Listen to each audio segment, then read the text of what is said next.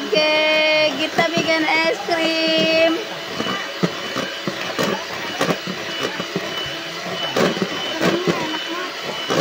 Bisa berapa menit? 5 menit. Ini mixer mie kok lucu ya. Nanti kalau kayak Bara-bara ya.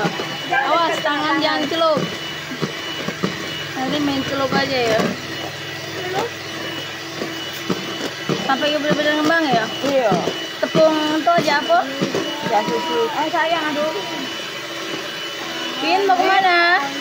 Oh mau dekat-dekat tante. Tangannya jangan dicelup ya.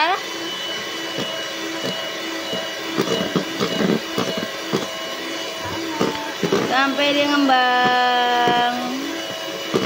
Tapi jangan jangan. Baru senang. Ini belum bisa dimakan. Berapa jam? Oke, adik.